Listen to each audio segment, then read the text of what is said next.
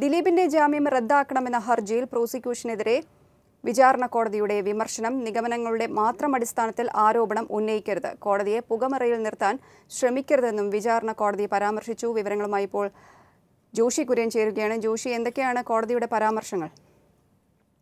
പ്രഫുല നടിയെ നടി ആക്രമിച്ച കേസുമായി ബന്ധപ്പെട്ട് ദിലീപിന്റെ ജാമ്യം റദ്ദാക്കണമെന്നാവശ്യപ്പെട്ടുകൊണ്ട് പ്രോസിക്യൂഷൻ നൽകിയ ഹർജിയാണ് വിചാരണ കോടതി പരിഗണിക്കുന്നത്.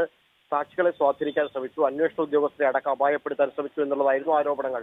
ഇത് പരിഗണിച്ച ഘട്ടത്തിലാണ് പ്രോസിക്യൂഷനെതിരെ രൂക്ഷമായ വിമർശനങ്ങൾ കോടതിയുടെ ഭാഗത്തു നിന്നുണ്ടായത്. അത് ദിലീപിന്റെ ജാമ്യം റദ്ദാക്കണമെന്നാവശ്യപ്പെട്ടുകൊണ്ട് നേരത്തെ തന്നെ ഹർജികൾ വന്നിരുന്നതാണ്. അത് പിന്നീട് കോടതി തീർപ്പാക്കിയതുമാണ്.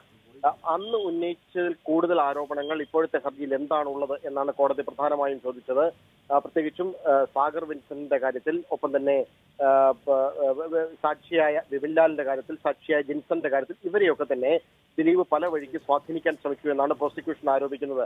ഗണേഷ് കുമാറിന്റെ പി എ ആയ പ്രദീപ് കോട്ടാത്തലെ സ്വാധീനിക്കാൻ ശ്രമിച്ച അടക്കമുള്ള കാര്യങ്ങൾ ഇന്ന് പ്രോസിക്യൂഷൻ ഉന്നയിച്ചു ആ ഘട്ടത്തിൽ കോടതി ചോദിച്ച പ്രധാനപ്പെട്ട ചോദ്യം അത് ദിലീപിന് വേണ്ടിയാണ് അത് സ്വാധീനിക്കാൻ ശ്രമിച്ചത് എങ്ങനെയാണ് സ്ഥാപിക്കാൻ കഴിയുക? ഇവരെ ബന്ധിപ്പിക്കുന്ന എന്തെങ്കിലും തെളിവുകളുണ്ടോ എന്ന് ചോദിച്ചു. അതിനുശേഷം കോടതി പറഞ്ഞു വെറുതെ ആരോപണങ്ങളും നിഗമനങ്ങളും മാത്രം ഉന്നയിക്കരുത്.